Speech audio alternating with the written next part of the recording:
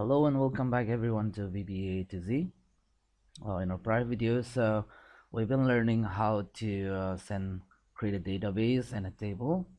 And then in the second video, we'll learn how to append the data or write data from MS Excel to database. And uh, we have also learned how to update the existing records uh, in the database based on certain criteria and um, using SQL statement as well as uh, by looping through and uh, putting a condition. And um, we've also learned how to sync the data from a database to Excel basically retrieving the data from views or through SQL statement and uh, VBA ADO codes. Um, in this short video I'll show you how you can delete uh, delete the data existing data in a database based on certain criteria. And um, it will be pretty similar method. The only thing here is we'll be uh, tr trying a method of deleting the data. So first of all I'll just write a SQL command. So to generate that we'll create a query okay? Delete query create and then query design. This is the best way to design um, you know uh, learn your SQL how it uh, looks and uh, how it's generated. So let's say that we want to delete the record that uh, where username is equal to user one okay so I'll just um, say select the name and then in the criteria I'll just put uh, user one in single quotes and then I'm gonna come back to SQL view. And then here it says uh, select okay? So I'm gonna go back to my design view and then query tools and then click on delete. And um, now I'm gonna go back and see my SQL view how it looks like. It says delete this field from this table where employee name is equal to this. So instead of field name I'll say star. So basically it will delete the whole uh, line. The, all the fields basically all these fields if the user name is equal to one. So if there are more than one user it's gonna delete that. So if I run this now it says you're about to delete one uh, record from this specified table let's go back here. You see that it's all deleted. So if I F5 from your keyboard or refresh so you'll see that it's gone. So we're gonna just copy this uh, uh, you know run this from Excel okay? So I'll just copy the first code that we wrote. The connection string and everything remains the same. So insert a module paste it here. I'll call this delete data from database and uh, I'll just first I'll just remove all these um, codes that are relating to record set opening the record set. I'll just park this for now. So this is our code where it opens set the connection and opens here it opens assign the connection string and then open the connection close the connection and then clear the memory okay? So let me just copy our uh, SQL statement.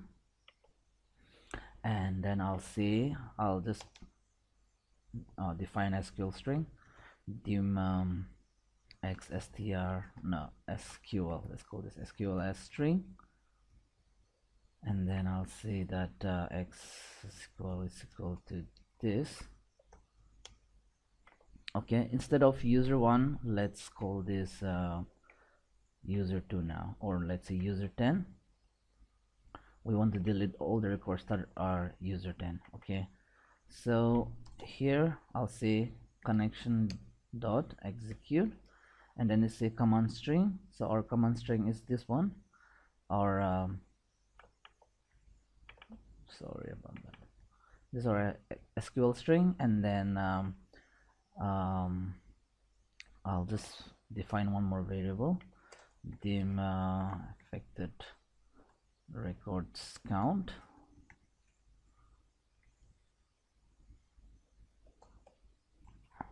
As long. And then I'm gonna say that uh, records affected will be assigned to this uh, variable okay? So we'll say debug dot print. Okay. So I'm just gonna create one scenario here. I'll just add user 10 twice just to see how it works. So basically what it is doing here is we have to uh, uh, put in our SQL um, command here in this um, uh, variable. And then uh, we are executing this command using this connection that we are opening here which is our database this access database and then we are getting how many records is um, deleted and then it will print in the screen how many records are uh, you know deleted. Okay so I'm gonna run this. First let me refresh the database. So we have one two records in the database that we want to delete because they are user 10 so here it says delete star all from this database where employee table dot employee name field is equal to user 10 so let's run it. It's done. I'll refresh this. So you see that user 10 is gone from here. If I come back to my code you'll see 2 is printed here. So two records are deleted. So this is one way to um, delete you know um, the records from uh, your existing database. This is pretty simple and uh, you can uh, generate this um, all the SQL statement from your database. Query designer is very simple. Or you can do some uh, reading for uh, SQL writing SQL statement and uh, commands. Is pretty simple okay? And uh, now I'm gonna show you additional way of another way of looping through the records and uh, deleting them okay? So I'll just copy the the code. We'll use some of the code which is written here. So I'll disable the SQL statement.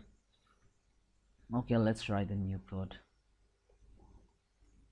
I'll just copy this and then I'll call this part 2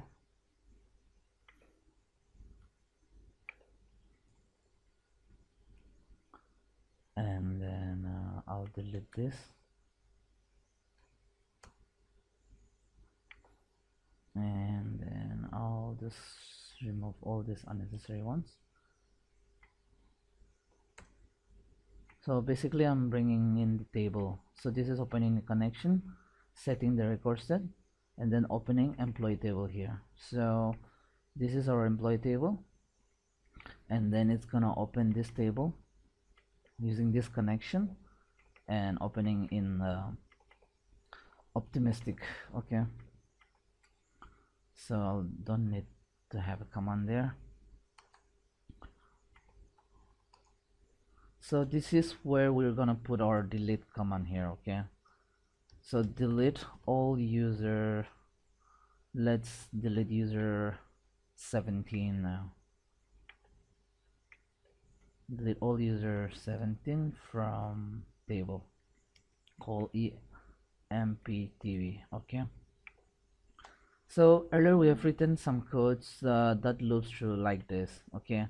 So we can just use this code.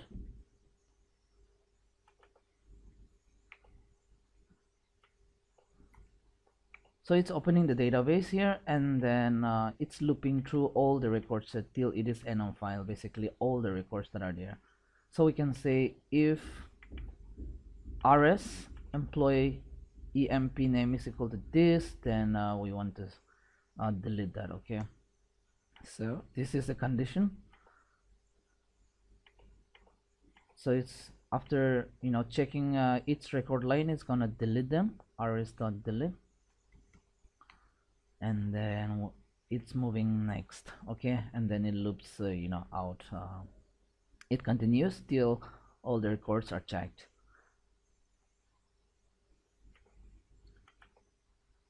okay so let's try and uh, run this and see if it's uh, if it works.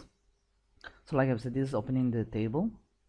Okay uh, it's log pessimist let's log this optimistic. I'll just change the cursor type and um, so it's gonna loop delete uh, check if the employee name is equal to user 17 if it is then it will delete. Otherwise no nothing.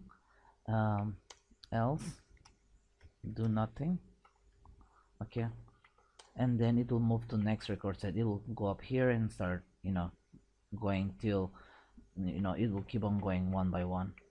Okay. So let's run this. We're expecting that all the user 17 here are going to be deleted. Okay.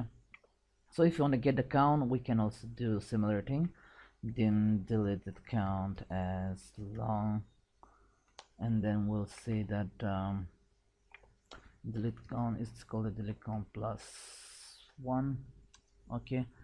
So let's see. In the end we'll print out debug dot print deleted count okay. So let's clear this off. Let's run our part two here. I'm running it. It's done. So it's saying the two records are deleted. Going back to database you see that this is deleted and then this is also deleted okay? So this is how uh, it's very simple. This is how you can delete your uh, records uh, in your database.